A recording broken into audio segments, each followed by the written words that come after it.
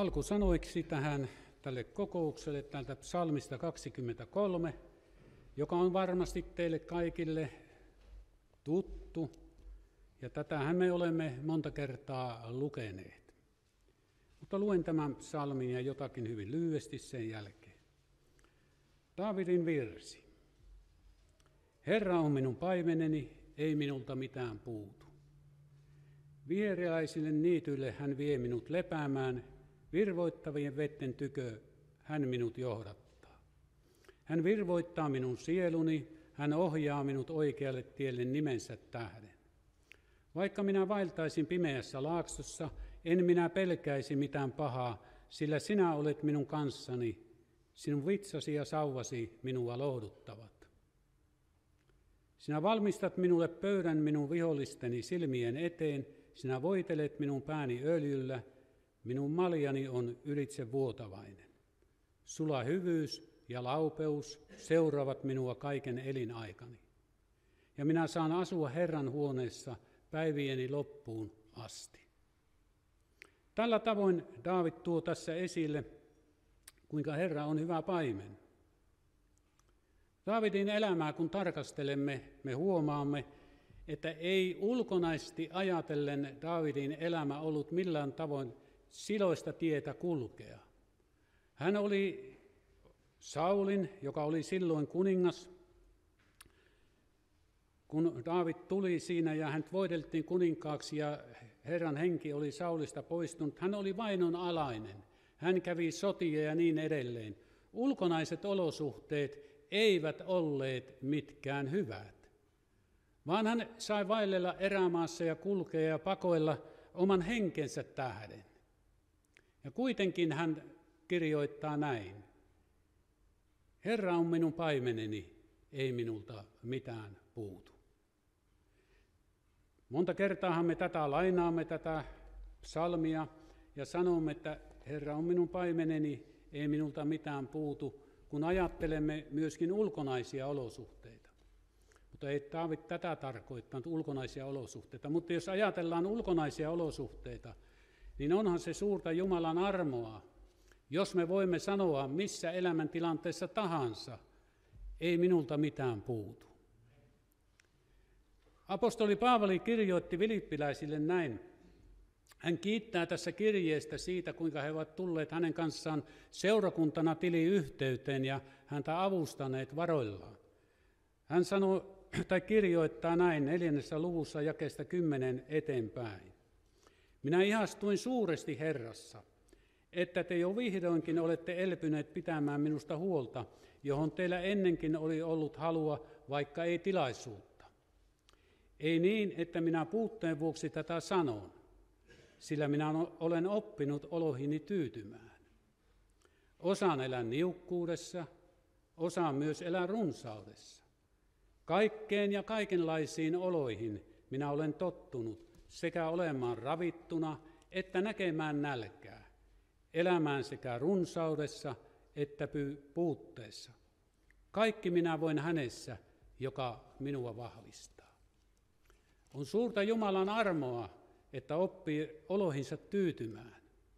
Jos on niukkuutta, osaa elää siinäkin ja ymmärtää sen, että Herra pitää joka päivä kuitenkin huolen, vaikka kyllä niukkaa ajallisesti onkin. Se on helpommin sanottu kuin tehty.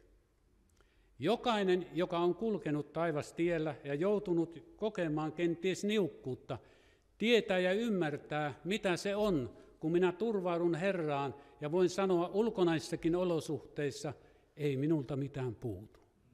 Kaikki, mitä elämään ja jumalisuuteen tarvitaan, niin Herra pitää huolen. Ja se on sitten sitä, että joka päivä joutuu rukoilemaan, Herra, auta minua nyt tänä päivänä, että minä tämän päivän pärjään. Tämä on sitä, mitä Herra haluaa meille antaa myöskin ajallisesti, ajallisesti ajatellen, että voimme sanoa, ei minulta mitään puutu. Osaan elän runsaudessa, silloin kun minulla on varoja ja minä voin hyvin ja ajallista siunausta on, minä voin antaa ja jakaa Jumalan valtakunnan työhön. Ja se on suuri ilo ja etuoikeus, että minä saan antaa ja jakaa siitä, mitä Jumala on minulle suonut ja antanut, ja tällä tavoin viedä tätä siunausta eteenpäin, koska Jumalakin on siunannut minua. Osaan elää runsaudessa. En kiinnity ajallisiin, vaan voi jakaa tätä muillekin, tätä hyvyyttä. Tätä Paavali tarkoitti. Ja mi- miksi hän pystyi tähän? Kaikki minä voin hänessä, joka minua vahvistaa. Herra vahvisti häntä elämään olosuhteissa ja olemaan tyytyväinen. No nyt kun Paavali kirjoittaa tässä, niin hän, anteeksi, Daavid kirjoittaa tässä psalmissa 23, niin hän puhuu hengellisessä mielessä, ei minulta mitään puutu. Kun hän sanoo, että viheriäisille niitylle hän vie minut lepäämään ja virvoitteen vetten tykö hän minut johdattaa, hän virvoittaa minun sieluni ja ohjaa minut oikealle tielle nimensä tähden. Herra haluaa ohjata meitä oikealla tiellä eteenpäin oman nimensä kunniaksi. Että me eläisimme hänen kunniakseen, emmekä päinvastoin tuottaisi hänelle häpeää, vaan kunniaa omalla elämällämme. Ja kun hän vie meidät lepäämään virvoittavin vetten tykö, se tarkoittaa, että hän pyhän henkensä ja sanansa kautta meitä virvoittaa ja vahvistaa.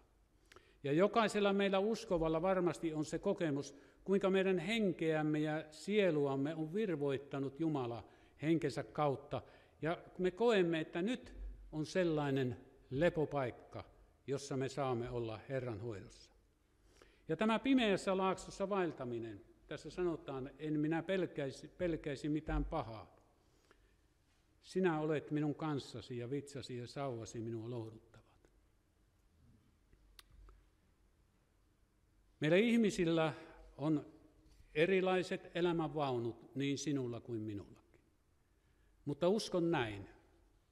Jokainen meistä joskus kulkee sen pimeän laakson läpi. Inhimillisesti ajatellen meillä ei ole mihinkään turvautua. Tulevaisuus voi olla pimeää. Me emme näe mitään. Inhimillisesti ajatellen. Voi olla, että voi tuntua näinkin, että taivas on suljettu. Voi tulla ajatuksia, että minä olen yksin.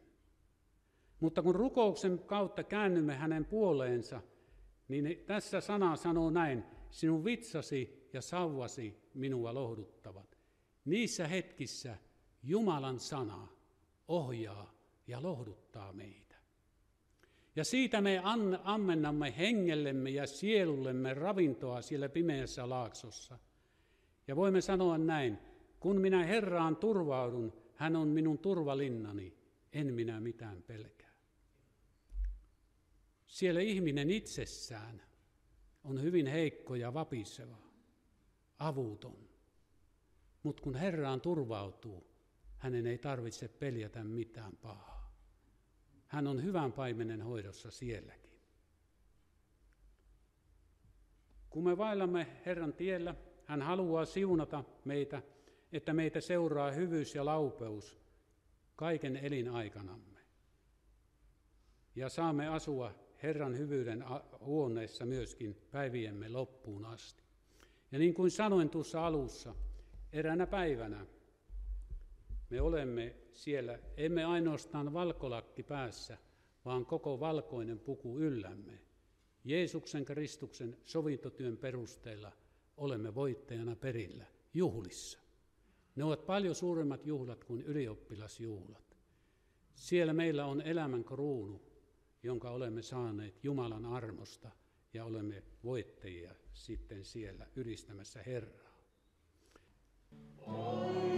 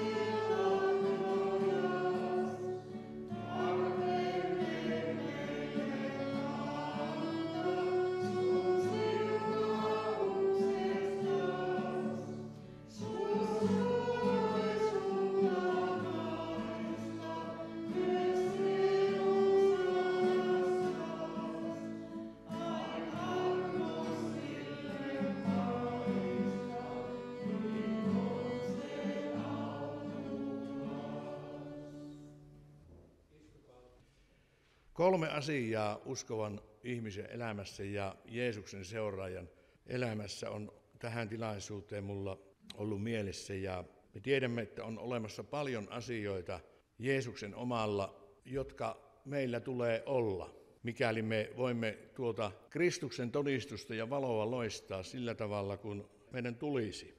Mutta nuo kolme asiaa, jotka tänään tuon esille, ovat sellaisia muun muassa, jotka, jos joku noista kolmesta asiasta puuttuu, niin ei noista kahdesta muustakaan asiasta ole paljon hyötyä. Te voitte kuvitella, on tuossa tuo pöytä, johon meillä on tuo ehtoollinen katettu. Jos yksikin noista pöydän jaloista puuttuu, niin tuo pöytä keikkuu, eikö totta? Ja jakkaralla on paha istua, jos siitä yksikin jalka puuttuu. Pahimmassa tapauksessa voimme kaatua. Ja raamatun paikka, jolla haluan lähteä liikkeelle, on Matteuksen evankeliumin neljäs luku, jossa Jeesus kulki Galilean järven rantaa ja tässä kerrotaan siitä, kun Jeesus kutsui opetuslapsia seuraansa. Matteus 4 ja jakeesta 18 eteenpäin. Ja kulkiessaan Galilean järven rantaa hän näki kaksi veljestä, Simonin, jota kutsutaan Pietariksi, ja Andrean, hänen veljensä heittämässä verkkoa järveen, sillä he olivat kalastajia. Ja hän sanoi heille, seuratkaa minua, niin minä tein teistä ihmisten kalastajia. Niin he jättivät kohta verkot ja seurasivat häntä. Käydessään siitä eteenpäin hän näki toiset kaksi veljestä, Jaakobin Sepedoksen pojan ja Johanneksen hänen veljensä, veneessä isänsä Sepedoksen kanssa laittamassa verkkoja kuntoon, ja hän kutsui heidät. Niin he jättivät kohta venheen isänsä ja seurasivat häntä. Nuo tuttua tutumat raamatun jakeet kertovat siitä, kun nuo Pietari, Andreas ja Jaakob ja Johannes lähtivät seuraamaan Jeesusta. Me tiedämme, että heidän elämän tapansa muuttui. Heidän isäntä vaihtui, niin kuin sanotaan. Tuo, että kun isäntä vaihtuu, niin se kertoo sitä, että kun olemme synnin orjia, jokainen luonnostaan ja syntyä, syntyessään jo syntiin lankeimuksen tähden olemme tuon synnin alla, mutta kun Kristuksen armo saa tulla ja saamme tulla Kolkatan verilähteelle, niin myös isäntä vaihtuu, eli käskiä vaihtuu. Raamatun mukaan on olemassa muutamia asioita, jotka meistä tulisi ilmetä, kun olemme Jeesuksen seuraajia.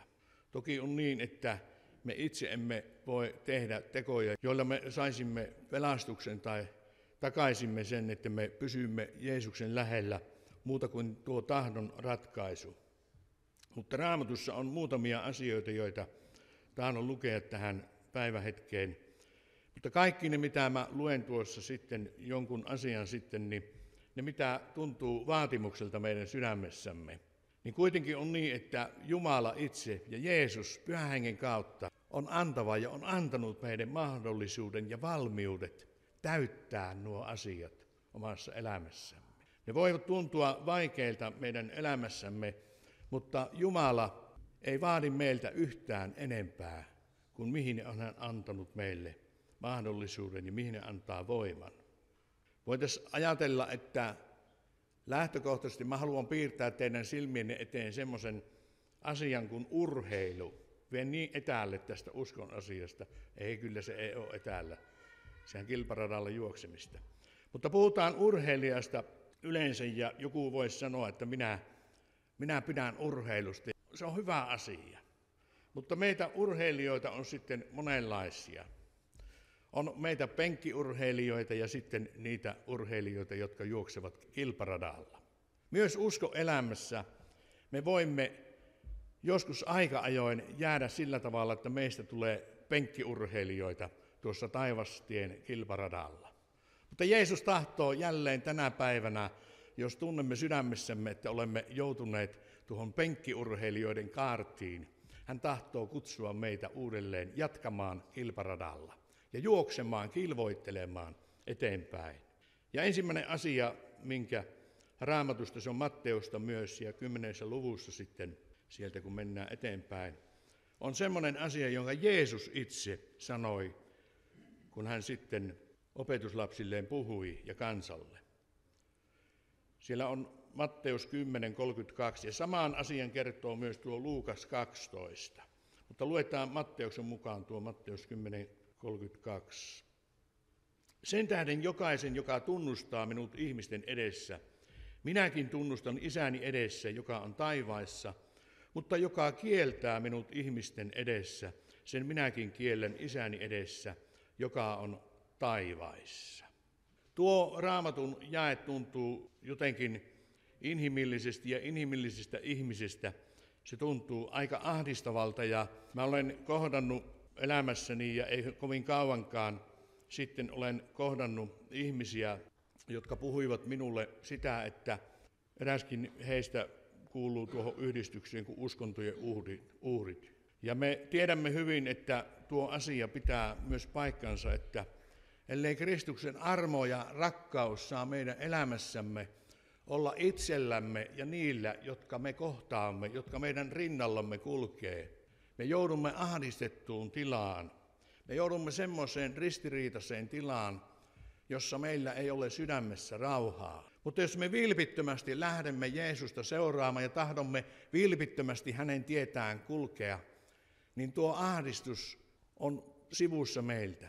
Ei sen tähden, että meiltä vaadittaisiin jotakin, vaan aivan jonkun muun takia. Tietysti tuohon asiaan kätkeytyy myös se, että me toiset ihmiset olemme herkkiä, niin kuin minäkin. Mä koen erittäin voimakkaasti tunteet ja, ja asiat ja musiikki ja kaikki kaunis ja kuvaamataide ja luonto. Minähän luontoonkin, kun mä menen, niin mä saatan unohtua tuonne jonnekin metsään.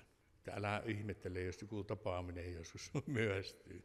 Minä ikään kuin jään lumoon tuommoiseen kauniiseen ja olen herkkä. Samalla tavalla herkkä ihminen, myös kun hän tuon kauneuden kokee, hän kokee myös tuon, tuon vihan ja ahdistuksen ja pelon ja nuo tunteet myös niin kovasti, että ellei Kristuksen rakkautta toisteta kerta toisensa jälkeen omalle sydämelle, me saatamme tulla toivottomuuden tilaan. Mutta tuo tunnustaminen, josta tuossa Matteus 10.32 kerrotaan, niin se todella, se on, jollekin se on helppo, mutta jollekin se voi olla vaikea.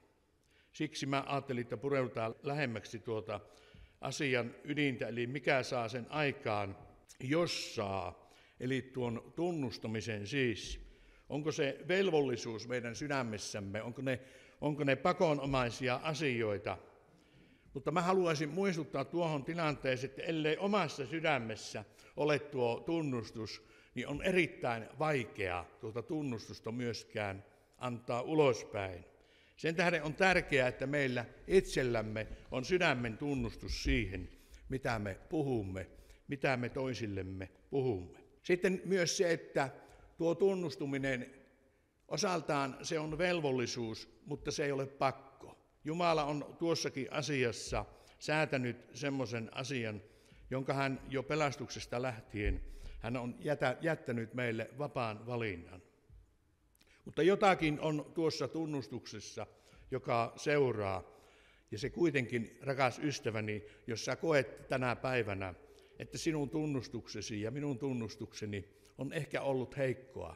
Muistetaan se, että Herra on heikoissa väkevä. Kysymys on siitä, että mikä on meidän sydämemme tila, tahdommeko kuitenkin seurata Jeesusta huokaista sydämessämme, että anna minulle voimaa. Se, että tunnustaminen saisi olla vähän helpompaa kuin miltä se ehkä tuntuu jossakin elämäntilanteessa. Kannattaa ajatella sitä niin päin, että minä tahdon tehdä sen minkä tähden. En sen velvollisuuden enkä pakon tähden, vaan rakkaudesta Jeesukseen. Nyt tullaankin siihen tosiasiaan, että onko meillä rakkaus Jeesukseen palavana tänä päivänä?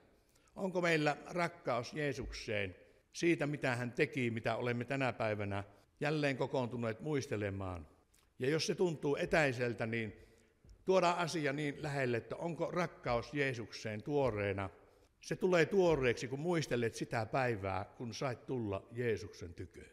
Mä muistan, kun mulla on rukoustilanteessa, se oli joskus kauan sitten ensimmäisen kerran, mä koin jotenkin vaikeutta rukoilla. Se oli ehkä silloin, kun kohta sen, muutama vuosi sen jälkeen, kun olin saanut tulla oikein ja kokea ne hallelujat, jossa ei ollut lainkaan vaikeaa rukoilla. Te muistatte, kun tultiin uskoon, niin enemmänkin joku aina sanoi, että no joo, amen, amen. Mutta sitten kun me mennään eteenpäin uskoelämässä, niin meidän rukouksemme ja elämämme saattaa hiljitä ja vaieta se kiitos. Mä keksin sitten, kun mä, mulla tuli tuo hetki, niin mä keksin sen, että kun mä muistelin sitä, mistä Jeesus minut kutsui. Ja eipä ollut vaikea ollenkaan kiittää. Ei ollut vaikeaa ollenkaan sanoa, että Jeesus, minä rakastan sinua. Toinen asia sitten myös, myös tuossa tunnustumisessa on se, että onko tuo tunnustaminen meidän tehtävämme, onko se meidän asiamme, kun otamme sen asiaksemme sitten silloin tällöin tuoda sitä esille, niin onko se rakkaus lähimmäistä kohtaan? Onko se sitä, että sinä näet hätää lähimmäisen edestä, joka on menossa kadotukseen, ellei hän tunne Jeesusta, ellei hän saa tulla Kolkatalle? Vai onko se tunnustaminen sitä, että sinä haluat osoitella ihmisten syntejä? Katso, miten syntinen sinä olet. Katso, miten syntinen sinä olet. Sinun on tehtävä parannus. Tuossakin asenteessa puolet on totta, mutta toinen puoli, sydämen kovuus, on valhe, joka ei auta yhtään siihen tilanteeseen eikä siihen asiaan, mitä Jeesus meiltä odottaa, eli tuota tunnustamista. Tuo suun tunnustus on kuitenkin loppujen lopuksi vain osa tuota tunnustamista. Meidän suurin osa meidän tunnustuksestamme on sitä, mitä me emme sano, vaan millaisena me näymme. Tässä hetkessä, kun olen tässä puhumassa näistä tunnustamisen asioista, olen aralla paikalla siitä, että onko tuo tunnustaminen, josta minä nyt puhun, onko se myös sitä, että te, rakkaat kuulijat, sisaret ja veljet, seurakuntalaiset tänä päivänä, voisitte nähdä sen myös minusta, minun olemuksestani, niistä asioista, joita meidän vuorovaikutuksessa on keskenämme. Ja kun näin kohdennan tämän, niin tämä pitää paikkansa myös teidän jokaisen välillänne. Ja sitten kun me lähdemme tuonne elämän arjen keskelle, niin onko tuo tunnustus, Kristuksen tunnustaminen, onko se myös sitä elämän arjessa ilman sanoja, joskus ilman sanoja. Ja yleensä se on ilman sanoja.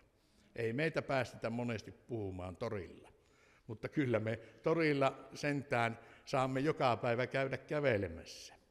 Ja jos sinun elämässäsi ja sinun olemuksestasi huokuu Kristuksen rakkaus, en sano sitä ollenkaan korkealta, mutta Jumala armosta olen itse joskus saanut tulla tilanteeseen, jossa joku on mulle sanonut, että oletko sinä uskovainen?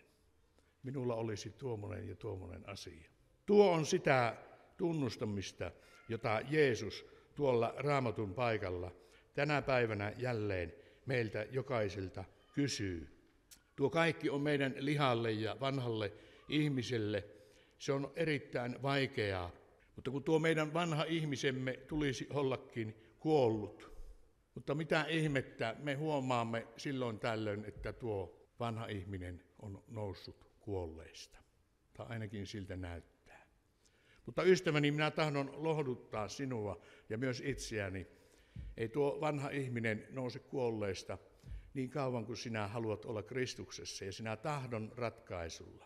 Se voi olla joku semmoinen muisto siitä entisestä elämästä, joka pyrkii sinun tunteidesi kautta tuomaan sinut ahtaalle ja pistämään sinut ahtaalle ja pahimmassa tapauksessa masentamaan sinut Jeesuksen seurauksessa. Mutta silloin meillä on pakopaikka Kolkatan ristin juurelle. Matteus 5.14 kertoo myös tuosta tunnustuksesta, joka on mulle erittäin rakas raamatun paikka ja ette varmaan eka kertaa kuule edes sitä minulta tällä paikalla. Matteus 5.14. Te olette maailman valkeus. Ei voi ylhäällä vuorella oleva kaupunki olla kätkössä, eikä lampua sytytetä ja panna vakaan alle, vaan lampun jalkaan, niin että se loistaa kaikille huoneessa olijoille. Niin loistakoon teidän valonne ihmisten edessä, että he näkisivät teidän hyvät tekonne ja ylistäisivät teidän isänne, joka on taivaissa. Niin, että ihmiset näkisivät teidän hyvät tekonne. Eikö ole aika ihmeellinen sana Jeesukselta itseltään? Mitä ihmettä meidän teoillakin näyttää olevan kuitenkin merkitystä hengellisessä elämässä ja uskon elämässä. Sen tähden, jos olet kuullut sanottavaa, että ei tarvitse tehdä mitään Jeesuksen seuraamisessa, niin sulle on valheteltu. Jeesus itse sanoo tässä tällä tavalla.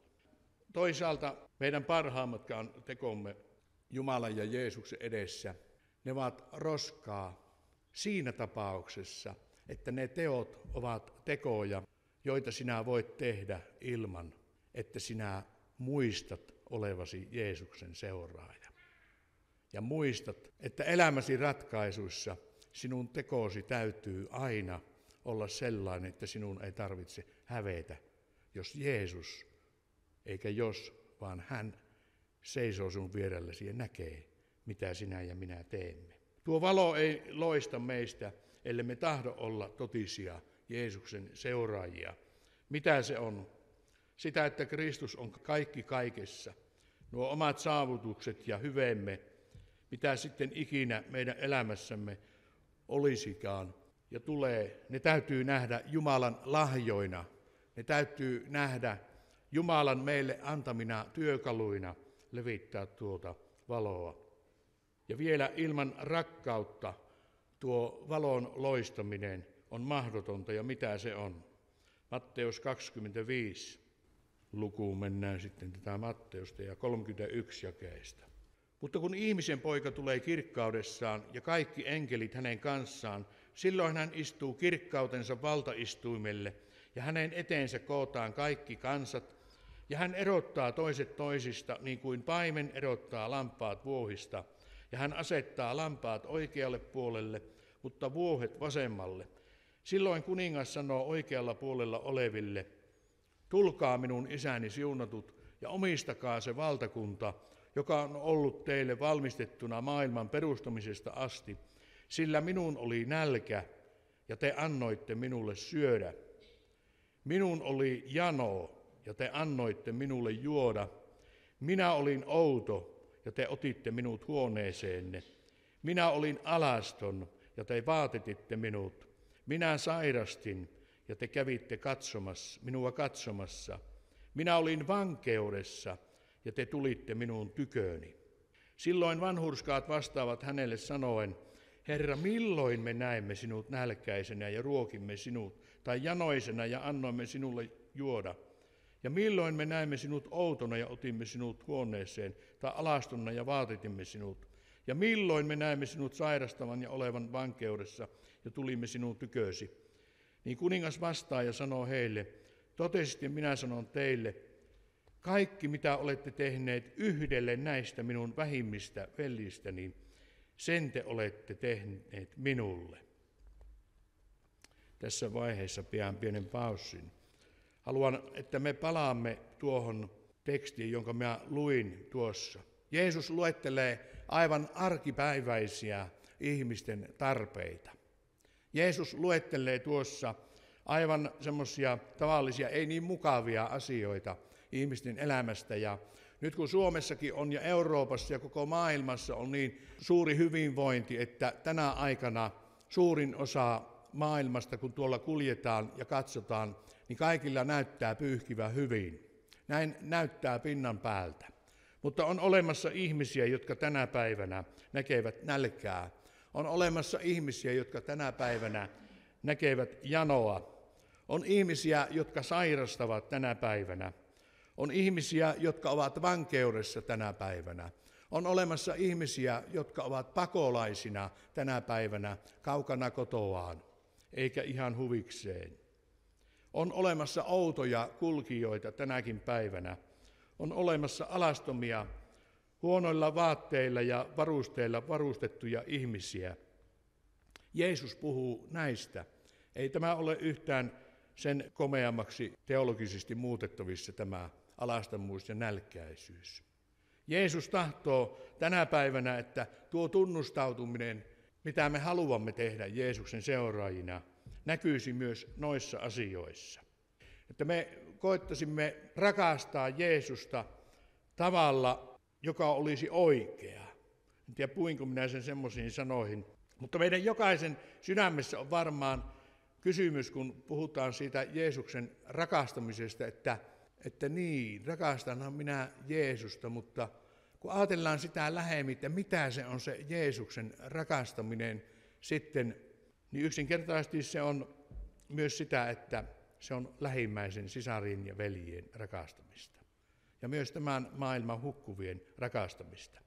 Mutta esimerkiksi tuohon rakkauden laatuun tai määrään, sitähän ei voi sillä tavalla sanoa, mutta yksi esimerkki on aika hyvä, jonka mä itse kuulin joskus. On olemassa semmoista nuorta koettelematonta uskoa, ja se kysyy, että mitähän minä saisin Jeesukselta, kun minä Jeesuksen seuraan lähtisin. Että mitähän hyvää minä saan Jeesukselta. Ja sitten kun siihen tulee vastaus jonkun saarnamiehen tai julistajan suusta sitten, niin syntyy rakkaus Jeesukseen, joka on sitä varten pystytetty, että mitä minä saan Jeesukselta. Ja sitten on juhlat pystyssä. Hyvin menee jonkun aikaa, mutta sen jälkeen kun tullaan noihin psalmin jakeisiin, mitä Kari tuohon alkuun luki, hänen vitsansa ja sauvansa minua lohduttavat ja johdattavat. Niin tuommoinen rakkaus karisee. Mä tiedän sen, että se karisee. Olen ikävä kyllä tavannut ihmisiä, jotka kyselevät, että, että ei tuo usko ollutkaan sitä, mitä, mitä minä odotin. Toinen on sitten tuo taisteluissa harjaantunut usko, joka on kokenut nuo pettymykset. Nyt tullaankin siihen, että ei sinun tarvitse hirmu pahoillasi olla siitä, jos sinä olet tuossa ensin kuvatussa tilanteessa. Sillä sitten tämä toinen taistelussa harjaantunut usko, kun tulemme huomaamaan, että ei se tuo usko ollutkaan niin hirmu kaunista ja prameaa aina. Välillä joudumme siellä ruusujen sijasta ruusun piikillä tanssimaan. Mutta kun olemme tuossa taistelussa jälleen selvinneet ja saamme siinä hikeä pyyhkiä uskoelämässä, niin on ihana ajatella, että mitähän minä voisin antaa Jeesukselle. Tuo on kääntynyt tuo ajatus meidän mielessämme, että mitä minä saisin Jeesukselta, niin että semmoiseksi, että mitä minä voisin antaa Jeesukselle. Ja kun näissä ajatuksissa olemme, niin voimme myös kääntää sen, että ei se, että mitähän mä saisin jälleen kokea ja veliltä ja siskolta oikein mukavaa juttua ja, ja me on mukava olla yhdessä. Että mitähän mä taas saisin piristystä näiltä. Vaan että kun me tulemme yhteen ja kohtaamme toisiaan ehkä myös kahdestaan tuolla tai pienemmissä ryhmässä, me voisimme ajatella sitä, että mitä minä voisin antaa näille velille ja näille sisarille. Ja sitten tuo ympyrä kasvaa, mitä minä voisin antaa hukkuvalle maailmalle, niille ihmisille, jotka etsivät Jeesusta. Mutta ellei tuo ajatus toteudu sinun omassa elämässäsi, se ei toteudu tuolla suuremmassakaan mittakaavassa. Sillä jos joku ei voi palvella veljeään, ei voi palvella myöskään Jeesusta. Tuota ei ole kirjoitettu raamattuun, vaan minä olen se ymmärtänyt. Tässä Jeesus sitten kertoo, kun nämä kyselee, ja, ja milloin näemme sairastavan ja olevan vankeudessa. Niin kuningas vastaa ja sanoo heille, totisti minä sanon teille, kaikki mitä olette tehneet yhdelle näistä minun vähimmistä veljistä, niin sen te olette tehneet minulle. Sitten hän myös sanoo vasemmalla puolella oleville, menkää pois minun tyköäni te kiroutut siihen iankaikkiseen tuleen, joka on valmistettu perkeleelle ja hänen enkeleillensä, sillä minun oli nälkä ja te ette antaneet minun syödä. Minun oli jano ja te ette antaneet minun juoda. Minä olin outo, te ette ottaneet minua huoneeseenne. Minä olin alaston ja te ette vaatettaneet minua. Sairaana ja vankeudessa ja te ette käyneet minua katsomassa. Silloin hekin vastaavat sanoen, Herra, milloin me näimme nälkäisenä ja jälleen tuo luettelo tuossa. Mutta hän vastaa heille ja sanoo, totisti minä sanon teille, kaiken minkä olette jättäneet tekemättä yhdelle näistä vähimmistä. Tuon saman vastauksen antaa Jeesus tuossa molemmille, tai tuo kuningas molemmille ihmisryhmille. Tuosta kaikesta me saamme rehellisesti ajateltuna, ja, ja kun rehellisesti katsomme tuota paikkaa, niin saamme sen, että uskova ihminen ja myös tämä meidän seurakunta ja koko kristillinen kirkko ilman laupeutta, ilman laupeuden harjoittamista, ilman ihmisten auttamista, se on kuin vahanukke vahakabinetissa. Tuo on myös minun oma, omaa kuvaustani. Vahanuket, olette käynyt Mikkelissäkö se oli se vahakabinetti. Minä kävin siellä joskus lasten kanssa siellä ja oli ihmeellistä nähdä siellä aivan kauempaa katsottuna aivan elävän näköisiä ihmisiä. Noita kuuluisuuksia oli tehty sinne presidentteistä, vanhoista presidentistä ja poptähdistä ja kaikista. Mutta kun menit lähemmäksi katsomaan, niin, niin ne oli irvikuvia elävästä ihmisistä. Sitten toinen noista vaikeista alueista, siis ensimmäinen oli tuo tunnustaminen ja sitä on tuossa pikkuhiljaa tultu ja raamatun paikkoja olen tuonut.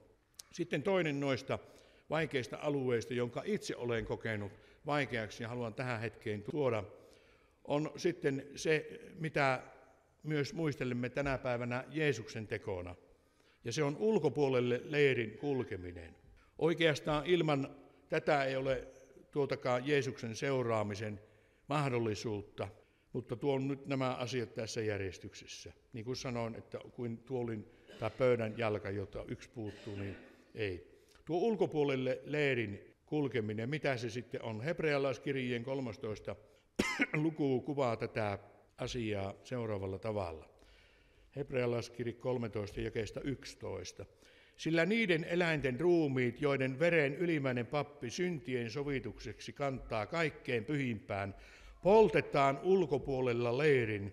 Sen tähden myös Jeesus pyhittääkseen omalla verellään kansan kärsi portin ulkopuolella. Niin menkäämme siis hänen tykönsä ulkopuolelle leirin, hänen pilkkaansa kantaen, sillä ei meillä ole täällä pysyväistä kaupunkia, vaan tulevaista me etsimme. Jeesuksen seuraajaksi siis lähdetään menemällä ulkopuolelle tämän maailman leirin ja ulkopuolelle tämän maailman hyväksymiseen. Jos sinä et ole löytänyt sitä raamatustasi, niin, niin pyydän lukemaan vielä uudelleen sen asian.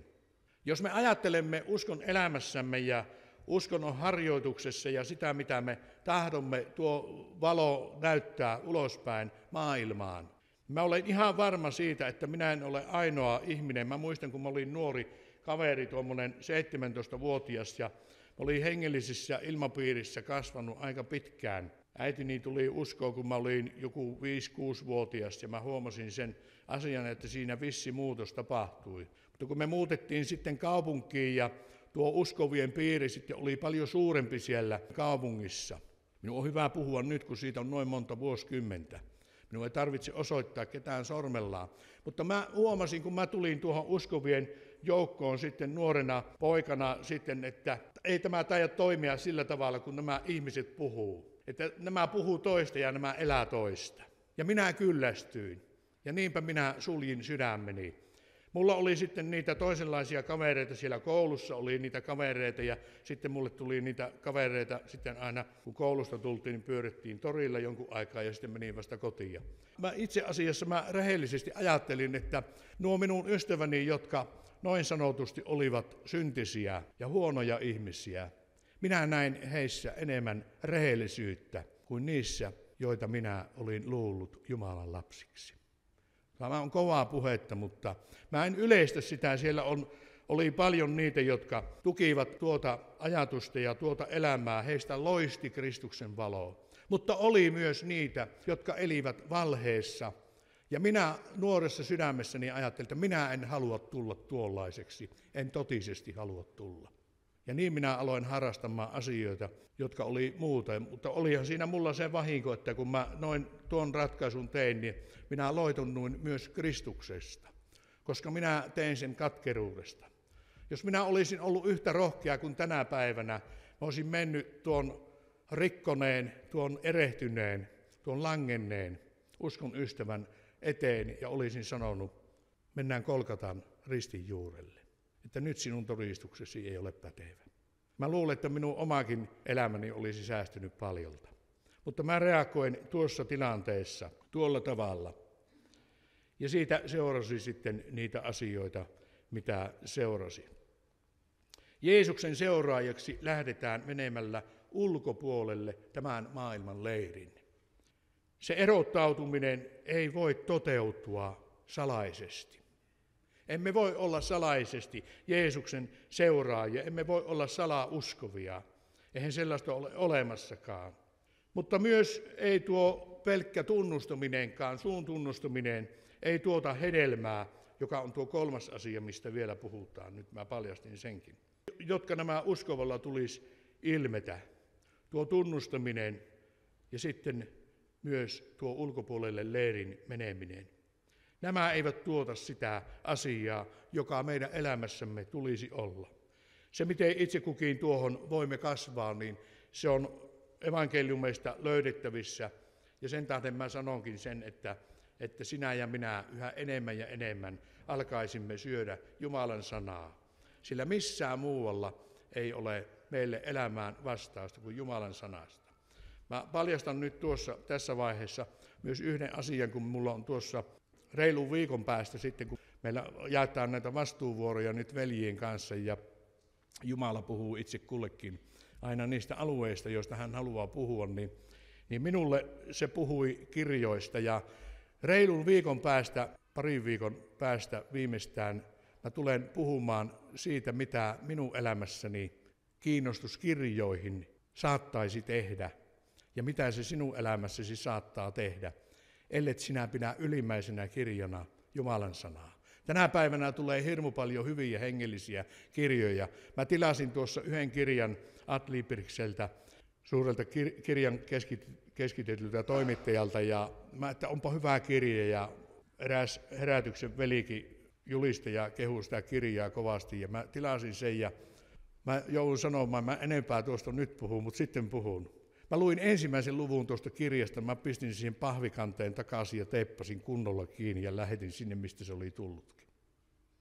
Tällä tavalla ruokitaan tänä päivänä ihmisiä ja ystäväni, jos sinä kuuntelet mitä tahansa ja luet mitä tahansa, niin ellet sinä lue sen rinnalla raamattua, niin huonosti käy.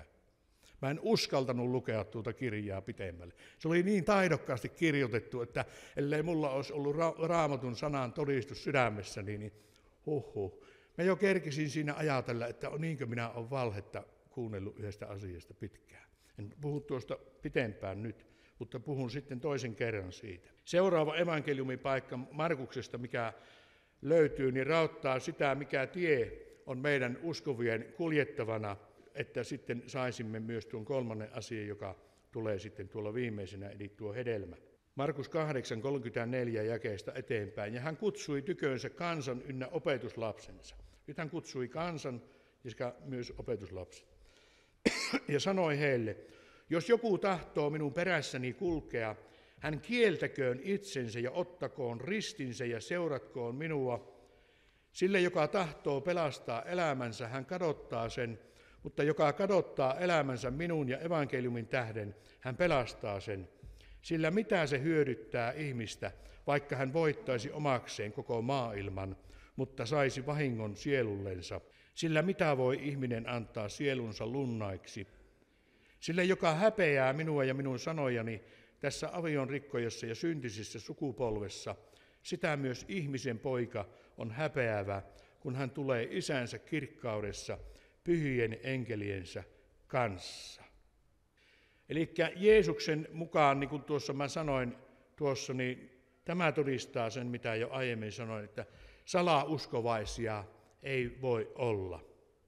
Mutta niin kuin myös kerroin, niitä joskus silloin tällöin vastaa aina kävelee. Mutta sitten kun kahden kesken hieman juttelee, niin voi sitten kenties Jumala armosta, jos itse ymmärtää tuon asian ja, ja tietää sen sanasta osoittaa, niin voi tuo, tuommoisessakin tilanteessa – neuvoa ja lohduttaa. Mutta siellä on sitten myös se, se paha asia, joka kätkeytyy myös, en lue sitä raamatun paikkaa, mutta myös me törmäämme elämässämme asioihin ja ihmisiin, jotka eivät olekaan sitä, miltä näyttää. Niin kuin mä kerron tuosta kirjasta, minkä mä tilasin. Se ei ollutkaan kirja, millaiselta se näytti.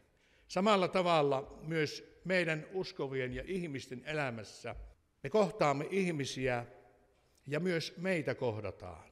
Me en ollenkaan käännä nyt sillä tavalla, enkä pidä sitä, että, että kun minä kohtaan jonkun muu ja joku muu osoittautuu semmoiseksi, joka se ei ollutkaan, vaan mä tuon nyt tuon tilanteen toisinpäin, että olemmeko me niitä, joita maailma odottaa meidän olevan. Olemmeko me niin Jeesuksen todistajia, kun yleensä ajatellaan? Vai tahdommeko olla sen verran pyöristettyjä, uskovia, että me vain pelottelisi tai loukkaisi ketään? Sillä yleinen mielipidehän sanoo, että nyt täytyy olla suvaitsevainen, mutta kun ollaan kahden kesken jonkun ihmisen kanssa, minäkin sitten on melkoisten jermujen kanssa, mä teen myös vankilatyötä joskus. Jos yleisesti jossakin ryhmässä ollaan sitten vähän, niin siellä kohta joku sanoo sitten kahvijutussa siellä, kun ollaan kahvia juomassa. Joo, sinä vähän veätit tuota hommaa, että sähän puhut nyt niin kuin papit, että, tuota, että sä puhunutkaan niin kuin sä aiemmin oot puhunut. Niin silloin mä tunnen piston sydämessäni, että, että me on pyöristelyjuttuja. Ja pahimmillaan meistä, ellemme ole rehellisiä, suorasanaisia Jeesuksen tunnustajia, niin tiedätkö, mitä meistä tulee? Meistä tulee susia lammasten vaatteissa. Eikö ollut aika kovasti sanottu? Mutta eihän meissä, jos meissä ei ole rakkautta ja me ollaan mukaan uskovia, niin mehän olemme silloin susia lammasten vaatteissa. Ja meidät on kutsuttu olemaan noiden susien keskellä lampaita. Ei meidän, meidän uskoelämämme saa olla mitään kerhotoimintaa ja harrastetoimintaa ja semmoista ajanvietettä, ei siitä ole mitään hyötyä. Ja sitten jos koemme, että sellaiseksi on joku tilanne mennyt, niin siinä on yksinkertaisesti sitten parannuksen paikka.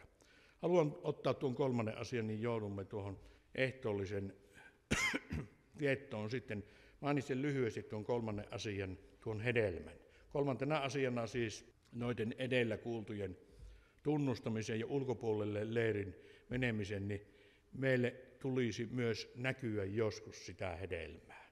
Nyt kun minä niin sanon, niin minä en suinkaan sano sitä hyvin keveällä mielellä, sillä, sillä meidän jokaisen on vaikea nähdä sitä hedelmää joskus omassa elämässämme. Jos me olemme näkevinämme jonkun hedelmä omassa elämässämme, niin kohta joudumme tilanteen, jossa me joudumme tunnustamaan, että ei, ei se tainnut ollakaan. Jumalan hedelmä, se oli ihan jotakin muuta. Se taisi olla kangastusta. Puhumattakaan, että me emme sitten tahdon nähdä sitä toisten sisarien veljien elämässä. Mutta tuleeko sitä olla ja onko sitä sitten oltava sitä hedelmää, niin mä luen tähän Matteuksen evankeliumin nyt sieltä alusta, kolmannesta luvusta. Matteus 3.8. Tehkää sen tähden parannuksen soveliaita hedelmiä. Tuo parannus on se ensimmäinen hedelmä. Sitten tuossa on lueteltu noita, mä luin tuossa noita sairastaminen ja kävitte katsomassa vankeudessa, kävitte katsomassa, alastin vaatelitte. Nämä on niitä hedelmän satoja. Matteus 3 ja 10 puhuu sitten myös tuosta hedelmän kantamisesta, tai oikeastaan se puhuu semmoisesta, kun ei ole tuota hedelmää. Siellä sanotaan, jo on kirves pantu puitten juurelle, jokainen puu, joka ei tee hyvää hedelmää, siis hakataan pois ja heitetään tuleen. Sitten Matteus 7, 16. Tässä puhutaan siitä, mitä mä kerron tuosta, kun mä tuon kirjan sain käteeni. Mä luulin sitä hedelmäksi, mutta se olikin pilalle mennyt hedelmä. Matteus 7.16. Heidän hedelmistään te tunnette heidät. Eihän orjan tappuroista koota viinirypäleitä eikä ohdakkeesta viikunoita. Näin jokainen hyvä puu tekee hyviä hedelmiä, mutta huono puu tekee pahoja hedelmiä. Jokainen puu, joka ei tee hyvää hedelmää, hakataan pois ja heitetään tuleen. Me oltaisiin aika toivottomassa tilassa, jos mä jättäisin tuon, että en lukisi vielä yhtä raamatun paikkaa. Meille saattoi jollekin muullekin tulla sydämeen, että klub, ei tuota hedelmää ole minusta nyt löytynyt. En minä ole päässyt siihen tilanteeseen. Ja jos sitä on joskus ollut, niin tänä päivänä, rakas Jeesus, tuo minun hedelmä on nahistunut pilalle. Siitä ei ole kellekään. Niin minä haluan vielä tähän tuon Johannes 15 tuoda sulle ja lue se vaikka sitten kotona loppuun asti, mutta Tämä on Jeesuksen omia sanoja, josta hän sanoi, että minä olen totinen viinipuu ja minun isäni on viinitarhuri. Jokaisen oksan minussa, joka ei kanna hedelmää, hän karsii pois, ja jokaisen, joka kantaa hedelmää, hän puhdistaa, että se kantaisi runsaama hedelmä. Ystäväni, sinun hedelmäsi puhkisi sinä päivänä, kun sinä tulit Jeesuksen luokse ja sinä sanoit, minä tahdon Jeesus sinua seurata. Jos sinulla ei hedelmää sen päivän jälkeen ole näkynyt elämässäsi, niin kuin minäkin olen monta kertaa itkenyt sitä, että ei minun elämästäni löydy sitä hedelmää. Niin kuin me olemme tuossa totisessa viinipuussa Jeesuksessa, niin hän sanoo täällä, ja puhdistaa, että hän kantaisi runsaama hedelmän. Tänä päivänä meillä on jälleen tässä päivähetkessä mahdollisuus, että Jeesus puhdistaa. Jumala puhdistaa tuon meidän viinipuuoksamme, että kun me olemme oksotettuna tuohon Jeesukseen Kristukseen ja tahdomme hänessä olla kiinni, niin me eräänä päivänä taas kannamme hedelmää. Halleluja, se hedelmän kantaminen ei ole sinusta ja minusta kiinni enää, kun me olemme Kristuksessa. Me joudumme tekemään noita ratkaisuja, niin kuin tuossa luin välillä, mutta se voima tulee Kristuksesta. Tänä päivänä meidän rukouksemme olkoon, että puhdista Isä tämä minun oksani, että minä kantaisin sitä hedelmää, mitä minun tulee kantaa. Ja viimeisenä luen tähän sen käskyn minä teille annan, se on tuosta samasta Johanneksesta, mä hyppään vähän. Sen käskyn minä teille annan, että rakastatte toisianne. Joku muukin jätti joskus tuon viimeisenä ja Paavalikin on jättänyt ja, ja monet velit ja sisaret. Ja minäkin haluan jättää sen, että rakastaisimme toisiamme. Sillä Kristukseen turvaamalla meillä on kaikilla voitto kuitenkin taattuna ja tuo puhdistaminen ja hedelmän kantaminen. Mutta meidän täytyy riippua tuossa öljypuussa kiinni. Tänä päivänä me saamme muistella tuota, kun Jeesus antoi tuon uhrin ja hän yhdisti meidät itseensä tuohon viinipuuhun. Jumala siunatkoon teitä. Amen.